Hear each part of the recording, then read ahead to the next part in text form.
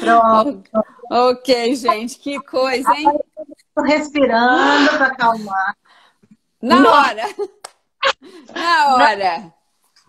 Muito bom. Gente, esses desafios novos para todos os. Gente, eu, eu vou te contar, eu preciso, eu preciso comprar uma pessoa para ficar aqui do meu lado me ajudando. Não, calma, todo, todo mundo chega lá. Olha quem entrou. Que legal, Olha, Yara. Yara?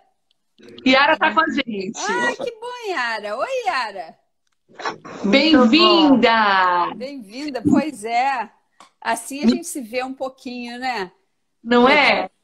É, é realmente essa falta do contato humano tá, tá ficando difícil, né, gente? Tá. Muito. Como é que você está por aí, Michele? Olha, eu, eu acho que agora o ano letivo começa agora, entendeu? Então tem muita gente voltando das férias. Mas o que está acontecendo é que as pessoas estão estranhando a cidade, que estão voltando, estão todo mundo com certo medo, apesar que a cidade aqui está super segura, você sabe, né? Nós estamos com menos de 1% de infecção. Então é uma ah. infecção bem pequena, mas mesmo assim ainda existe uma. As pessoas ainda não estão se encontrando, não estão jantando muito juntas, é, é raro, então ainda está muito tenso, né? E vocês? E vocês? A gente, a gente também, aqui o Brasil, como é muito grande, cada região do país, é, eles estão tendo uma conduta, lugares estão mais abertos, outros lugares ainda mais fechados mas as crianças ainda não voltaram para aula, estão voltando devagarinho. É, e... A partir de outubro que vão começar a retomar as aulas, mas um número bem baixo de, de pessoas, né? Não vão, não para a escola, não. É, Aqui minha neta, minha neta que tem só três aninhos, já começou a escola. E ah. então fica todo mundo também esperando que algo aconteça. E os colleges estão começando aqui. Então, está todo mundo vindo de várias partes dos Estados Unidos para os colleges das cidades. Então, isso também gera uma certa ansiedade, porque a gente não sabe de onde as pessoas estão vindo, né? Mas, mas dentro mas... disso, tudo bem.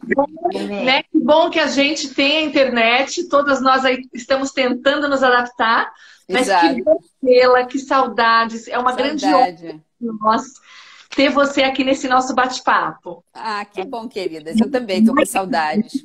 Querida entrando, a Sandra, o Instituto da Família também. Lá da Yara.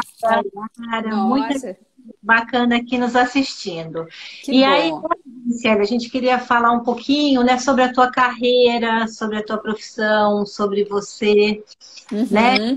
A gente queria comentar um pouquinho, né? Por que, que você escolheu essa área né, de terapia de casal?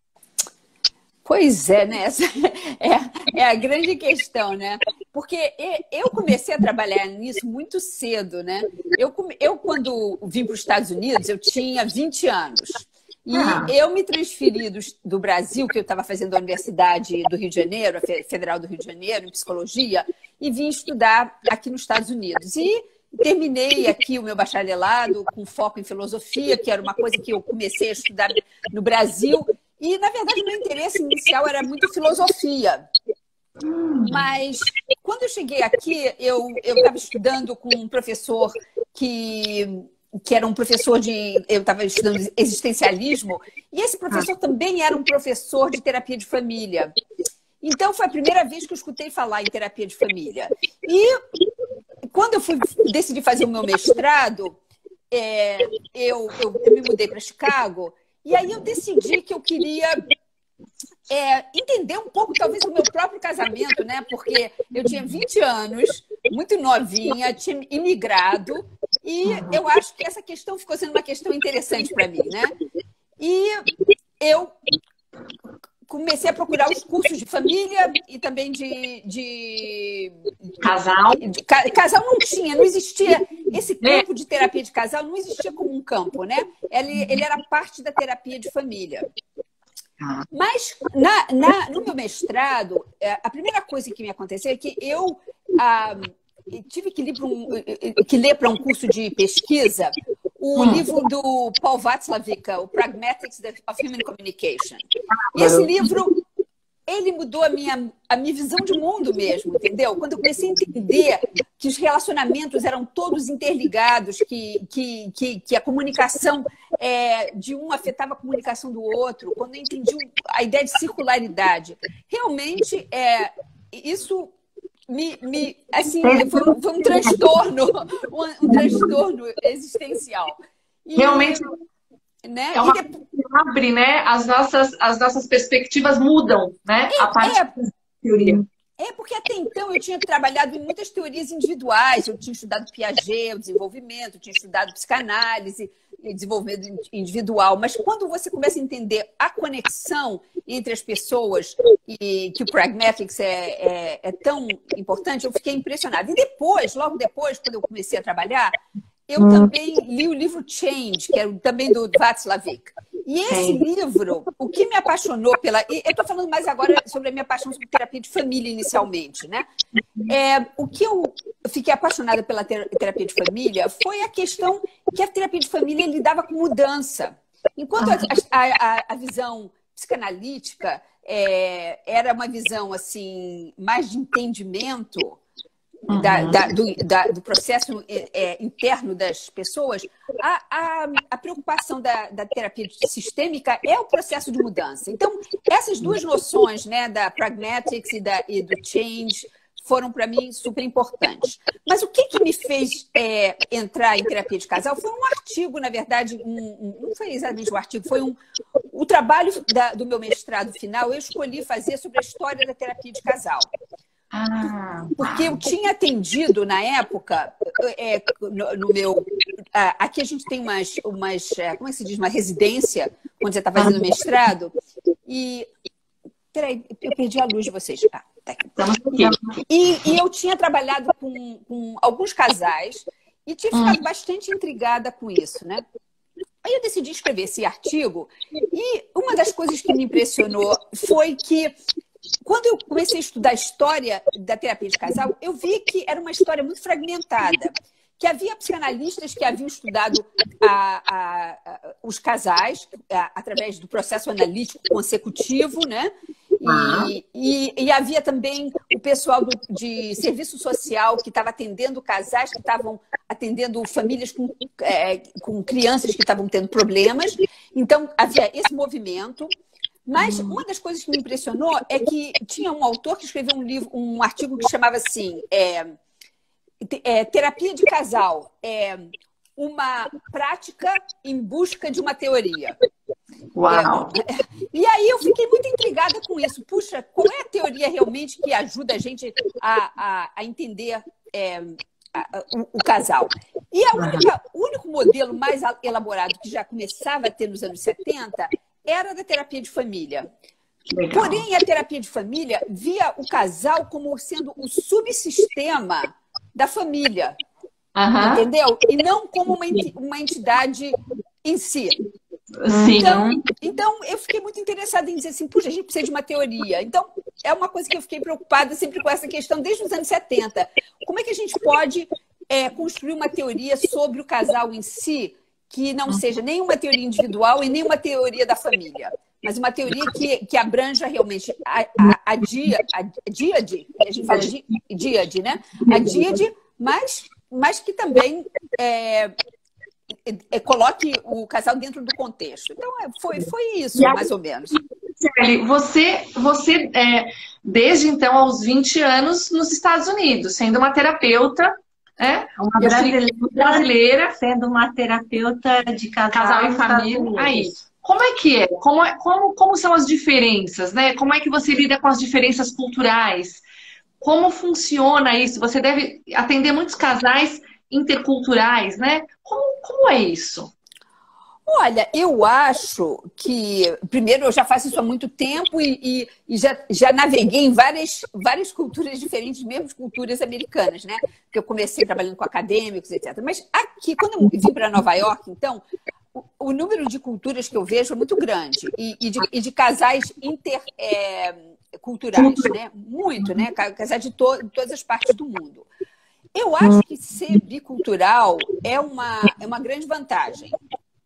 Porque eu, eu, eu tenho a consciência de que a, que a minha perspectiva não é exatamente a perspectiva dos outros.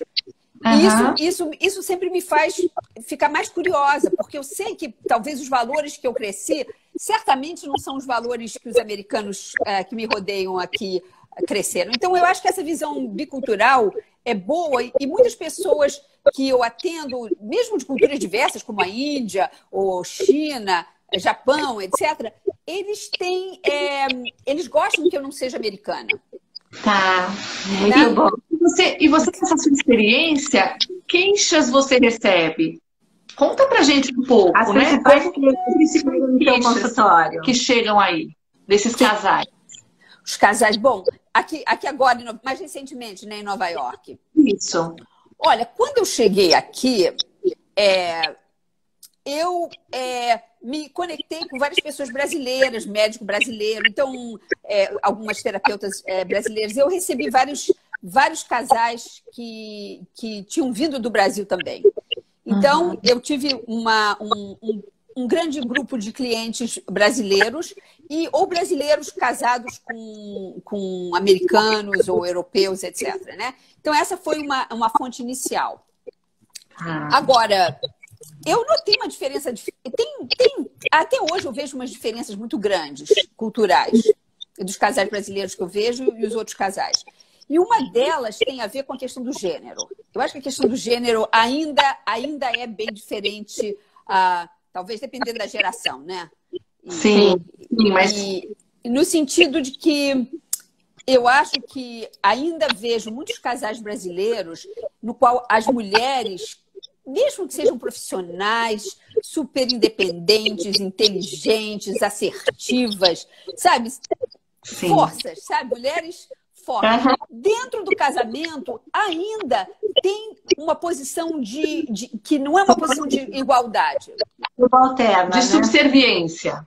É, de que, de que, por exemplo, elas vieram para cá porque o parceiro está aqui. Eu não vi ainda. Eu, é raramente ouvi um casal brasileiro que o marido veio com a mulher. Acontece, eu sei que existe no Brasil maridos que seguem as mulheres, e a, uhum. mas, mas a, a, maioria dos casais que chegam a mim são as mulheres que largaram tudo.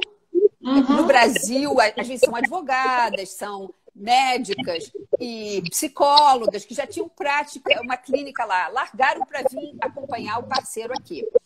E o que me, o que me toca é como, na verdade, é, é esse medo de feminismo. Também existe um certo medo do feminismo, assim. Então, elas, elas sentem que é uma coisa que, que é importante para ser uma boa parceira, elas, elas se submeterem, mas isso tem um preço muito alto. Nos casais que eu vejo, tem um preço muito alto. Tem, tem ressentimentos, as, ou as mulheres acabam abandonando o casamento, ou elas ficam deprimidas, ah, os maridos não entendem por que elas estão infelizes. Então, essa questão do gênero, da maneira que ainda é vivida por muitos casais no Brasil, eu estou falando casais jovens, né? 30 e poucos anos, 40 é, anos, eu acho que ainda é uma questão que tem que ser trabalhada na terapia, na verdade. Bárbara, você está trazendo isso porque a gente fez uma pesquisa agora, né? O Instituto uhum. pesquisa, Sei. tentando entender os motivos, como é que estavam esses casais na pandemia, né? E Sei. os motivos pelos quais eles estavam brigando. E aí, o primeiro motivo foi o celular, mas o segundo e o terceiro, né? O segundo, Michele, apareceu como divisão das tarefas domésticas. Exato, exato. De críticas. Então, a gente tem falado muito sobre isso, como ainda, né? Em tempos de pandemia, as pessoas tiveram que deixar as suas. Uh, as, as pessoas que ajudavam fora, né? Não vinham ajudar, e os casais tiveram que se dividir, e aí virou Uh, uma dificuldade. Um estresse generalizado. Exato, porque então você pensa, é a mesma questão, é, é semelhante à questão do casal que vem para cá, sem pensar muito. O casal assume que a mulher vai, vai tomar conta da comida, de comprar comida, de fazer isso. E a mulher brasileira, de classe média, não está acostumada também com isso. Sim. Entendeu? Então, obviamente, ela ressente. Né? Quer dizer, mas existe uma, é, é uma dificuldade de, de, de, clarificar essa questão. Em contraste com, por exemplo, eu vejo assim, meu filho, que é americano, quer dizer, ele cresceu aqui, casado com uma americana, ele teve um neném há pouco tempo, desde o primeiro minuto, ele troca tanta fralda quanto ela, ele acorda de noite quantas vezes quanto ela, ele tirou seis semanas de, de trabalho tanto quanto ela. É muito interessante, né? Porque os homens aqui, com o bebê, estão mudando muito rapidamente. Ah, que bom! É bom saber. Assumindo banho, assumindo comida, assumindo uma série de coisas, né? Estão participando demais. Sim. Agora, na organização da casa, né? Ainda, ainda a mulher é, fica em primeiro como obrigação né? Cuidar da cozinha, da empregada, do, de, e de tudo mais. Agora, o filho, a gente já percebe uma mudança enorme em todas bom. as áreas. Bom isso, isso né? É bom, mas aqui, aqui eu já vejo, por exemplo, na geração do meu filho, o meu filho sai para ele cozinha, ele sai para comprar comida. ele, na verdade, até mais, mais se preocupa mais com com a arrumação da casa, que a casa esteja decorada de uma certa maneira do que ela, entendeu? Ela, ela é a minha, a minha nora, é, ela é, ela é muito intelectual e ela, é, ela trabalha como ah, é, repórter e ela isso ah. não é importante para ela. Então, até nessas coisas, você já vê. Não estou dizendo que a situação dele é, é, geral, não é. Entendeu? Obviamente que ainda existe também muitos casais que esperam que a mulher tome mais. E, e, tem uma outra coisa: as mulheres são melhores que os homens em geral na parte da administração da casa. Então, muitas vezes eu sinto assim que como é que eu posso trabalhar com essa com essa é, vantagem que a mulher tem uma maneira de organizar a vida familiar, a família da casa, e ao mesmo tempo manter um nível de, igual, de igualdade, não de, de reciprocidade, né? Sim, sim, eu acho. Acho que esse ainda é um desafio, né? Ajudar esses casais a encontrarem esse lugar, né? Um lugar mais harmônico, em que os dois se sintam respeitados, né? Exato conjugalidades, quanto na conjugalidade que eles vão constituindo aí ao longo da relação, né, Michele? É, e que, e que, e que é, existe, é importante, eu acho, no, no, processo da terapia, que exista uma consciência de, de que, que tem muitas possibilidades, não tem que ser de uma maneira só. Então, eu acho que a questão é a questão da escolha. Se uma mulher escolhe que ela vai tomar conta da cozinha e da, e, e, e da casa, e em troca ele está tomando conta do carro, dos consertos da casa e do dinheiro, e eles acham que essa essa troca é uma troca recíproca e, e que está usando a vantagem de cada um, ótimo, não precisa ser, não é? Mas tem que haver reciprocidade, né? Perfeito. Eu acho, que, eu acho que você falou uma palavra muito importante: reciprocidade e talvez a flexibilidade, né? É. De fazer os ajustes, de ir mudando ao longo do ciclo vital, ao longo da vida, né? Porque as coisas também vão mudando. Exato. E, e, é. e comprometimento, né? Porque também aqui a gente vê os casais que dividem, né? Fazem combinados e que rapidamente volta para o padrão antigo. Mas, isso, mas não é verdade isso sobre qualquer tipo de mudança. Se você, não, se você não cultiva ela, é muito fácil cair nos padrões que a gente cresceu, que, que são familiares, mesmo depois de terem. Eu, eu tenho um casal agora há pouco tempo que eu fiquei muito triste com isso, que a gente trabalhou muito, eles mudaram radicalmente. E aí eu decidi ligar um ano depois para saber, e eles reverteram a vários dos padrões. Então, é, é, é por isso que eu acho que o nosso papel como terapeuta de casal é estar tá disponível como, como médico que eles podem vir, ter duas sessões extras para a gente re, rever, rever as escolhas, né? E rever essa flexibilidade, porque é isso Sim. mesmo. É uma coisa muito importante, né, que você fala, que é um processo que não acaba, né, na, na saída, na alta do, do casal. Exato. Eu, eu, eu, é, a gente questiona essa questão, será que existe alta? Né? Uhum, uhum. E, e, e, como você falou também, eu acho que a questão do ciclo vital, o momento de cada casal, por exemplo, eu estou trabalhando com um casal agora que eles tinham um casal bem tradicional, super bem educados, se encontraram numa top universidade, é, é, com igualmente intelectuais, mas durante o casamento decidiram por um casamento bem tradicional. Ela tomou conta de casa, dos filhos, não trabalhou, ele foi que trabalhou, fez, trouxe, trouxe dinheiro, ela cuida da cozinha, é bem tradicional. Os ah. filhos saíram de casa, eles entraram numa crise terrível. Porque Uau. ela não vê mais razão de ter um casamento tradicional, uma mulher inteligente. Então, existe nesse momento, com 55 anos, uma necessidade de re, reboliçar tudo isso, redefinir Sim. E é isso que a gente está fazendo, né? É isso que a é. gente tem. E, Vocês têm essa experiência? Você tem essa experiência também? E eu, até pessoal, né? Exato. O que a gente fala, né? Eu acho que isso é o lindo nas relações. Porque um casamento de longa duração é um casamento que você provavelmente vai se recasar com o seu marido ou com a sua esposa muitas vezes. Exatamente. Né? Exatamente. É. A, Esther, a Esther Perel que fala isso muito, né? Ela fala, em geral, a gente, hoje em dia, por causa da longevidade, a gente tem, em geral, dois ou três casamentos, mas pode ser com pessoas diferentes ou pode ser com a mesma pessoa, né? Então, é, é essa ideia. Bárbaro, bárbaro é, isso, né? É. E me tem uma questão muito interessante que a gente queria até te perguntar, porque a gente gosta muito do. A gente, nós, você sabe, a gente é, admira muito o seu trabalho. É? Obrigada. Eu acho que você trabalha muito bem uma questão que são os segredos, né? Quando a gente tem aí uma relação de casal que talvez seja um pouco diferente de alguns terapeutas ainda no Brasil, né? Ainda, Como né? O jeito que você trabalha com segredos. Principalmente frente a uma traição, frente Exato.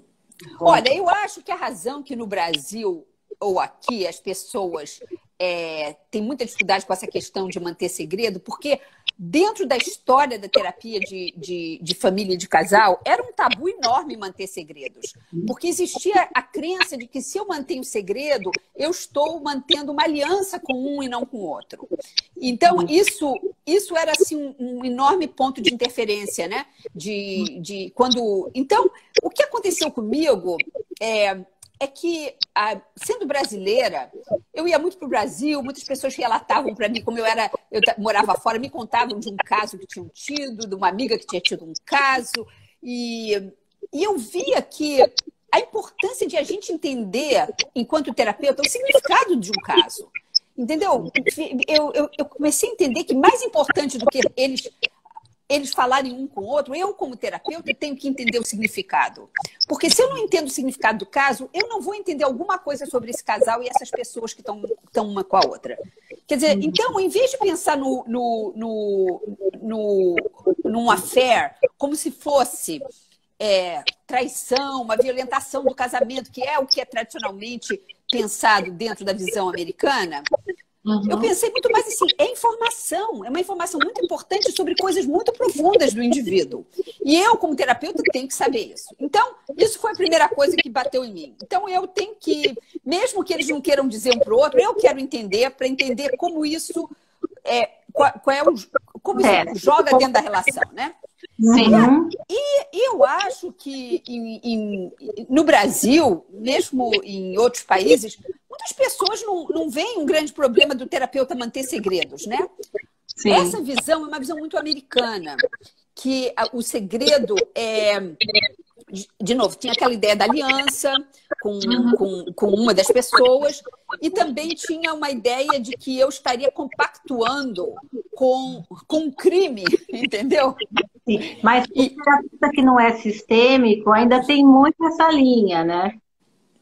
Dentro da visão sistêmica, da, do, da pessoa da visão sistêmica. Né, de que não, não poderia estar conversando com um separadamente do outro, só o casal, um desenho ah. mais do, né? E, e, na, e na terapia sistêmica a gente encontra, assim, né? Principalmente tendo uma supervisão com você, algo desse tipo, né? Essa possibilidade. Essa possibilidade que funciona tão bem. É, eu, eu acho que esses são vícios da profissão, entendeu?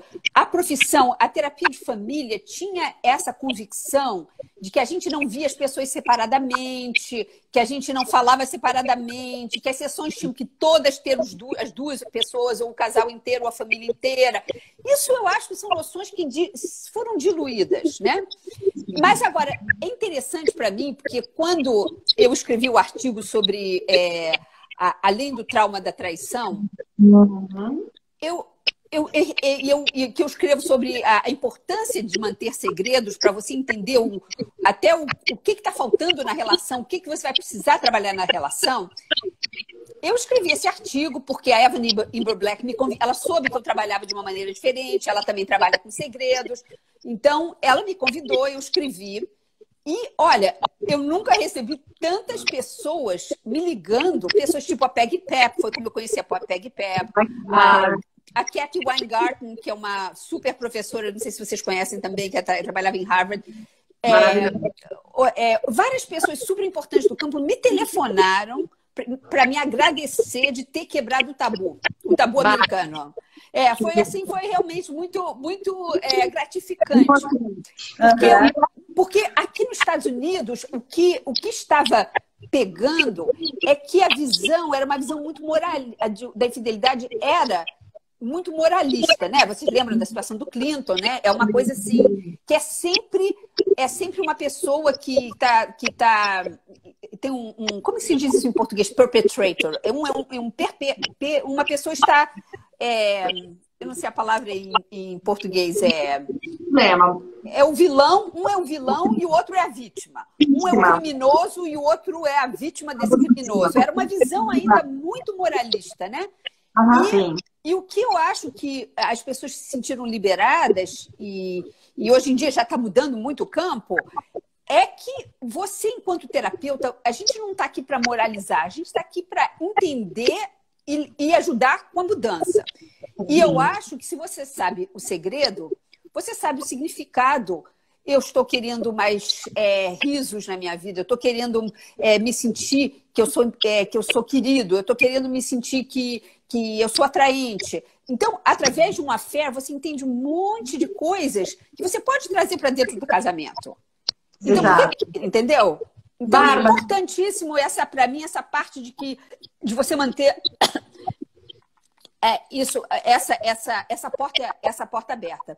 Mas agora, você devia dizer para os seus colegas no Brasil que essa mudança está mudando, tá, isso está mudando no mundo inteiro. Eu, eu escrevi inicialmente, depois a Esther também escreveu depois o livro dela também, que é sobre, sobre isso, né? Em cima dessas ideias. E, e, e hoje em dia, quando eu dou workshops, as pessoas estão muito interessadas em saber, então, como você faz isso? Como você trabalha com segredo, né? Como é que você se posiciona, né? Numa parada aqui, né? Vai ter o workshop né, da Michelle. Ah, é? O, ah, tema, o tema que vai ser trabalhado, né? Infidelidade e ciúmes. ciúmes. Tá? Então, vocês que estão nos assistindo, né, podem entrar, fazer inscrição. Né? Realmente, a Michelle trabalha muito bem essas questões. Vocês não vão se arrepender. Né? Vale muito a pena o, esse curso com a Michelle, esse workshop com a Michelle. Vai ser um workshop rápido, né, Michelle? Esse vai ser de duas Novembro. horas. Duas horas. É. Tá? Depois a gente fala no final, dá mais informações para vocês. Né? É. Esse vai acontecer, então, agora, em hum. novembro, dia 13 de novembro. Mas aí a gente dá mais informações.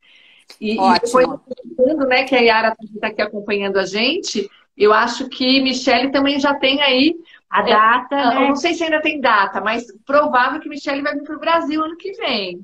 Exato. Ah, bom, estou desejante, estou louca para ir para o Brasil. Quero ver vocês, mas quero ver vocês, quero ver todo mundo, mas quero ir na praia também. Ah, claro, estamos esperando a pandemia deixar. É, mas a gente conta logo mais, tá? Antes do final da live a gente dá mais informações. Mas, Michelle, acho que é muito legal você trazer esse modelo para gente, né? Para nós, como terapeutas de casal, enfim, de família. É, a gente se sente muito privilegiada de ter a sua supervisão, porque é, é, esse, esse jeito de pensar é um jeito de pensar muito libertador Sim, muito da humano, nossa prática. Muito humano na busca de saúde mental, é. né, na busca de entender as dores né, do é. casal, que é muito é. sofrido. Né, Exato, exatamente. Eu acho que também, em vez de pensar que num, num affair como somente como traição, pecado, todas essas noções assim, é, vilão, etc. Não é, eu, eu entendo até que as pessoas dentro do casamento vejam dessa maneira. Se você, digamos, se for meu marido que me traiu, eu vou achar que ele é um vilão. Mas eu, enquanto terapeuta, não vou tomar essa. e não vai me ajudar a tomar essa posição. A minha Sim. posição enquanto terapeuta é diferente da posição da pessoa que está vivendo isso. A minha posição é uma que eu estou tentando entender o que, que eu preciso fazer para ajudar essas pessoas a recuperarem a relação, se é isso que elas querem. A minha questão não é quem está certo e quem está errado. Mesmo que um machucou. É a mesma coisa. É, é uma conversa que eu tenho muito com a Esther sobre isso. a gente aceita assim, uma pessoa pode ter dado um tapa na outra, uma pessoa pode ter xingado, falado uma coisa ofensiva. A gente tolera tudo isso como terapeuta, apesar que são coisas destrutivas. Mas quando chega uma, com a infidelidade, existe um bloco que a gente acha que a gente tem que, não pode aceitar como terapeuta, a não ser que seja verbalizado, falado, confessado, transparência. E eu acho que isso, essas noções é, uma, é um caminho errado. Sim, terapeuta, né? Sim. Exato. E, e, olha que legal, né? Tem a Sandra, uma querida, uma amiga nossa, terapeuta, e ela é terapeuta sexual, ela é uma terapeuta que trabalha brilhantemente. Ela acabou de dizer, muito bom, estou me sentindo validada. Ah, que bom, Sandra. Pois é, eu acho que, eu imagino que no Brasil, como no México, como na, como na Argentina, quando eu falo sobre essas ideias, eu imagino que tem muita gente que, que entende imediatamente o que eu estou falando e não tem. Porque não existe a, a cultura moralista é, ao nível do, do, moralismo que a gente lida aqui. Mas como Sim. a terapia de casal desenvolveu dentro dos Estados Unidos, ela voou para aí. Ela voou para aí com seus valores, entendeu? Apesar de que eu acho. É, só que a gente tem que. A gente tem que... A brasileira para traduzir aí, flexibilizar. Que sorte, americanas! É. Foi... E, é. assim, você que, que tá aí, enfim, né? Tem muita gente nos escutando, é, colegas que são terapeutas maravilhosos, né? Terapeutas de casal. A gente tem muitos bons terapeutas de casal no Brasil, né? Uhum. Que dica você daria, né? Se você pudesse é, um conselho, dar uma dica para nós aqui que estamos te escutando, né? O que além, você diria? Além de estudar uhum. né, o impasse do casal, o ciclo uhum. da vulnerabilidade, o que mais? Ah, que mais? Poxa, essa é questão difícil. Olha, eu acho que a razão que eu, que eu vou sempre para o ciclo das vulnerabilidades, me desculpem, é que eu acho que, como terapeuta, a primeira coisa que eu tenho que conseguir com qualquer casal é que a gente possa ter um diálogo, nós três e eles dois, que não seja defensivo. Na medida que as pessoas estão numa posição reativa e defensiva, é muito difícil a gente, faz, a gente fazer qualquer coisa construtiva. Então, uhum. para mim, eu acho que a grande questão é.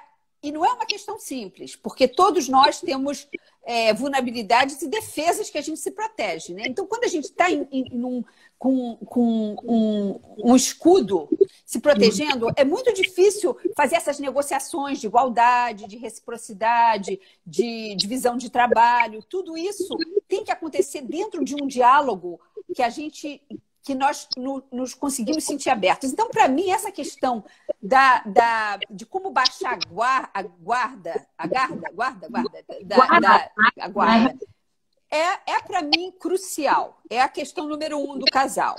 Para não aí... ficar defensiva, escutar, né, e poder empatizar. Trabalhar. Eu não posso empatizar com você se eu estou sentindo que você está me atacando. Se você está me atacando, eu vou ter que me proteger e eu não estou te escutando, eu estou somente.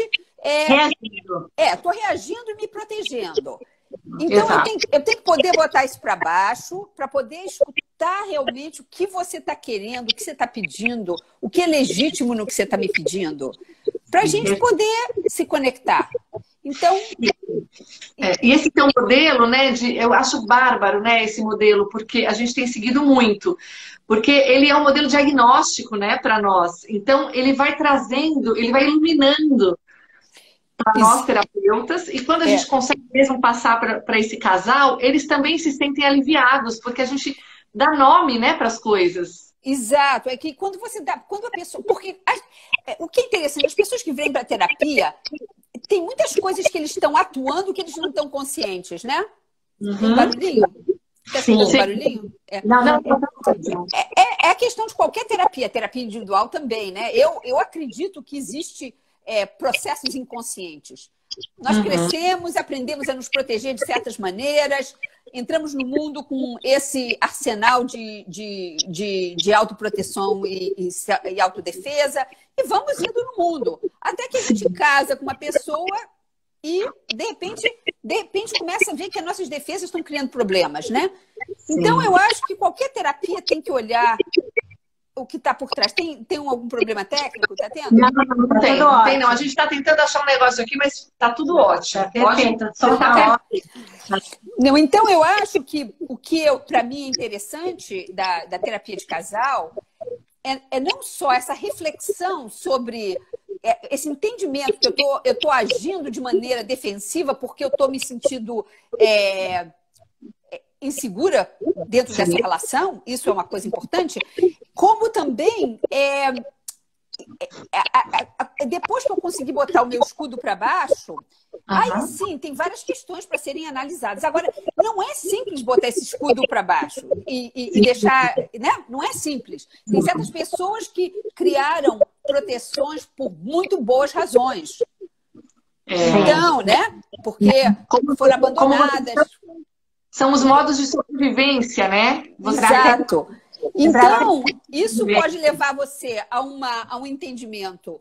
É, você pode, talvez, às vezes, trabalhar no nível puramente comportamental, mas você também, às vezes, você tem que cavucar lá na história da pessoa por que, que esse, esse arsenal de defesas é tão rígido e necessário para essa pessoa. Então, então, é isso que eu acho que você está falando, né, Denise? É, é que a gente pode, em vários, vários níveis, para poder quebrar essa, essa, esse, essa, esse arcabouço de defesas do casal, né?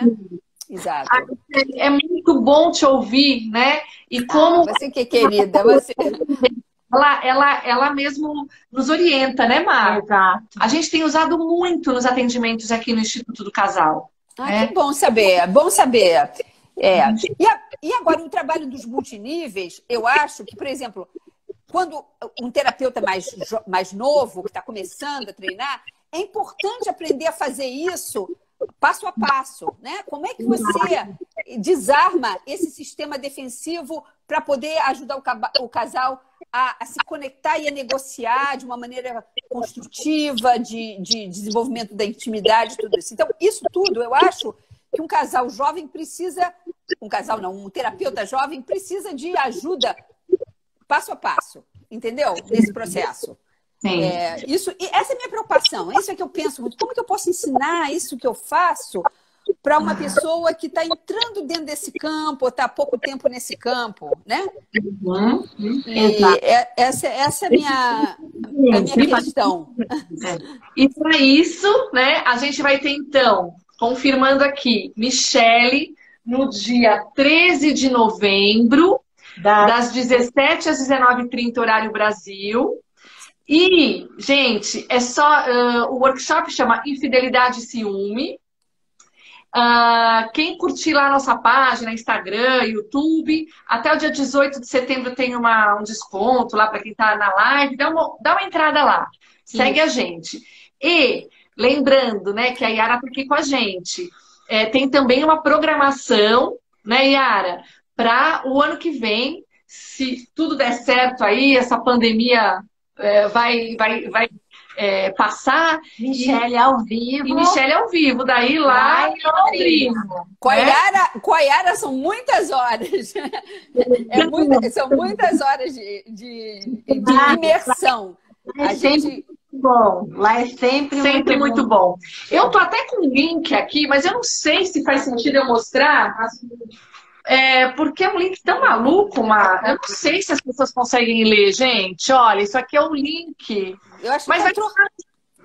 Acho que é complicado, né? Vai estar tá lá no Instituto do Casal. A gente vai colocar isso lá no Instagram e no, uh, no Instagram. Vai estar tá lá. Então fiquem tranquilos que quem quiser, né? Vai poder entrar lá, enfim, vai ser muito legal. Que é. bom, gente. Estou super feliz. A gente está muito feliz de estar aqui com você. Olha só como o nosso tempo passa. Já é quase hora da gente ir finalizando a nossa live. Nossa, passou rápido mesmo. Não era rápido, não dava nem tempo de sofrer. É. é.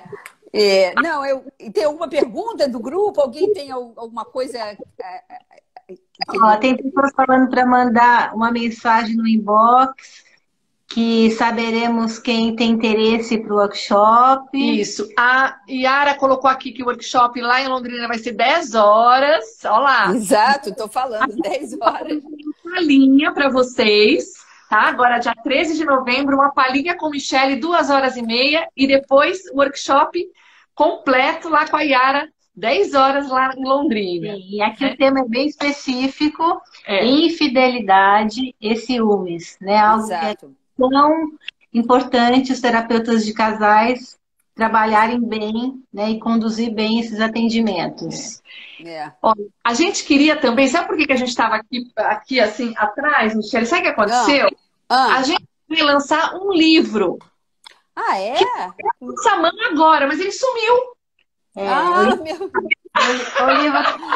Vamos ter que marcar uma outra hora para poder falar do livro. A gente queria mostrar a capa para você. Ah, meu Deus, queria ver. Porque, mas... gente, que loucura. Ó, a gente está procurando aqui, mas ele sumiu. O taxista trouxe o livro de casa, veio até agora, e agora a gente não acha o livro para mostrar para vocês. Que coisa é, mas... doida. Bota, bota na, no, no site de vocês, não dá para fazer uma fotografia e botar? Eu gostaria de ver. Como é o nome do livro?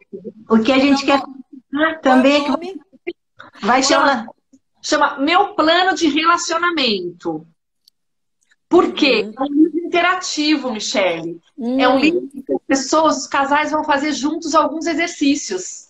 Aham, muito interessante.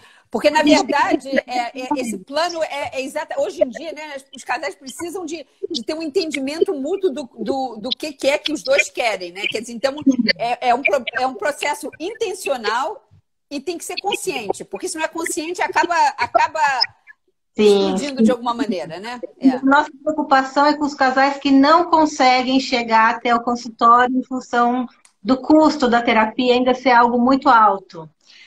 Então é um jeito também de democratizar, sabe? Exato. De informação, de levar material uh, didático, importante, que eles possam fazer isso em casa.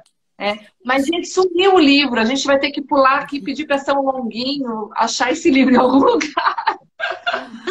Mas, Mas eu gente... acho que até os casais que estão também em terapia, às vezes ler é uma coisa que ajuda muito, né? É porque você pode ler, pode voltar a ideia. É, é muito bom. Muito bom. E, Quero... por, por, favor, guardem um para mim, tá bom? Guarda um para mim. Com certeza, um, um vai, vai, vai direto para você. A gente vai mandar. Você tá para para investir na relação, né? Você para para olhar na relação. Sim. É, né? e para aprender, porque tem certas coisas que a gente, a gente tem que ler várias vezes para poder mudar o, o, wiring do nosso cérebro, né? Então. Com Exato. Bom. Então, coloquem aí, save the date, 22 do 10, vai ser o lançamento. Que bom, gente. Vocês não param, hein? A nossa, é. não é? É bom, ótimo. Ó, Muito bom. despedindo do pessoal, porque senão a live cai, né? Ah, é? Tá ótimo. A gente, a gente vai gente. repostar. As pessoas que não assistiram ao vivo podem ir entrando para assistir depois com calma. Ah, que bom. Tá? É, vamos mandar integral para você, Michele, depois. Aí depois você pode pôr nas suas redes também. Obrigado. Obrigada, tá? gente. Obrigada. Adoro conversar com vocês. Eu espero, espero ter mais oportunidades para a gente bater papo mesmo. Bater papo é muito bom. Não é bom? Eu falei, é. gente, é um bate-papo com a Michelle. Que é, oportunidade muito de estar aqui. Né? E a gente está muito feliz de estar aqui fazendo esse bate-papo com você. A nossa total admiração pelo trabalho que você tem desenvolvido. Ah, gente, obrigada. Só nos Estados Unidos, mas a gente sabe, né, até em outras regiões, enfim. Então, bárbaro. É sempre uma honra estar do seu lado. Adorei, gente. Obrigada. Queridos, muito, muito obrigada. Obrigada né, pela presença de vocês. Obrigada por todos. É, é, nos acompanhem lá, que a gente vai postar todas as coisas, vai postar é, essa conversa com a Michelle Sim. e o nosso uh, workshop, workshop, que vai ser um sucesso. É. Aguardamos vocês. Tá bom? Tá? Um grande Gente, abraço. Michele, que eu não sei, eu não sei quem está aí, mas amigos que estão aí, beijos. Beijo. Tchau, Tchau queridas. Tchau, queridas. Tchau. Tchau.